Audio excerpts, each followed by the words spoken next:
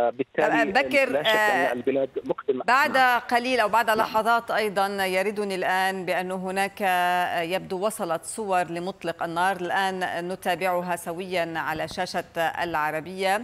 إذا وصلت هذه الصور لمطلق النار على رئيس الوزراء السابق عمران خان. هي صورة واضحة.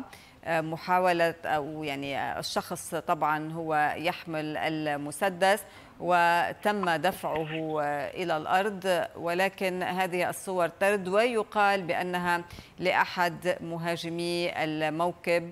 وحسب مساعد عمران خان نعود ونذكر بأنه تم قتل أحد المهاجمين وتم القبض على آخر. إذا تابعنا هذه الصور لما يقال بأنه هو من أطلق النار على رئيس الوزراء السابق عمران خان الذي أصيب إصابة طفيفة وأيضا أصيب ستة أشخاص معه ويقال بأنهم من حزب الإنصاف.